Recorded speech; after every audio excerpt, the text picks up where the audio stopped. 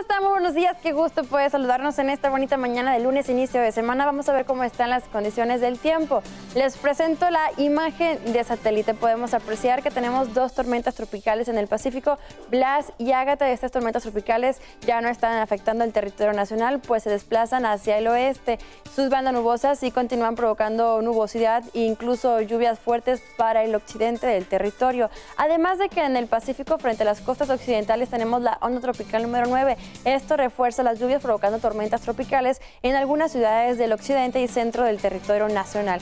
Un canal de baja presión que se extiende desde el norte hacia el centro de la República Mexicana y uno más sobre el noroeste del territorio nacional. Estos sistemas eh, mantienen inestabilidad para el territorio, además de que provocan incremento de nubosidad, también generan humedad, lluvias de ligeras a moderadas que están concentradas en el occidente y centro del territorio. Vamos a ver cómo están las condiciones en algunas ciudades de México. Para San Luis Potosí, la máxima llegará a los 26 grados centígrados con un cielo parcialmente nublado. En Guadalajara se presentan lluvias con tormentas eléctricas. El termómetro solo alcanzará 24 grados centígrados. Esto es debido a los sistemas que se localizan en el Pacífico, afectando el occidente y centro del territorio. Las mismas condiciones se presentan para la Ciudad de México y en Puebla la máxima llegará hasta los 26 grados centígrados con un cielo parcialmente nublado. Aquí en Nuevo León temperaturas muy cálidas que llegarán hasta los 39 grados centígrados. En Lampazo, China y Linares. Para Lampazo es un cielo mayormente despejado, cielo despejado en China y Linares parcialmente nublado. Doctor Arroyo de los 14 a los 27 grados centígrados. Para Coahuila en Piedras Negras un cielo con muy escasa nubosidad de los 25 hasta los 42 grados centígrados. Máxima de 39 para Muclova. En Torreón de los 21 a los 36 con un cielo medio nublado. Y en Saltillo la máxima llegará hasta los 33 grados centígrados. En Tamaulipas temperatura muy alta que supera los 40 grados ya que Nuevo Laredo llegará hasta los 41 con un cielo completamente libre de nubes.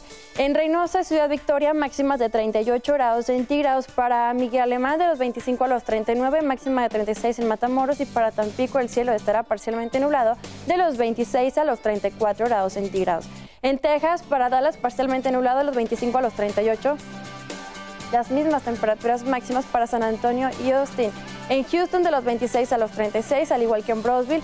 En Laredo temperatura cálida con un cielo despejado, ya que la máxima llega hasta los 41. McAllen de los 27 a los 37 y en Roma la máxima se eleva hasta los 39 grados. Al sur de la ciudad, sobre las instalaciones de Azteca Noreste, marca el termómetro 27 grados centígrados. El cielo está parcialmente nublado, con una humedad relativa al 79% y el viento está en calma. La presión atmosférica es de 1013 milibares, pero que nos espera el día de hoy lunes? Una temperatura muy cálida aquí en Monterrey.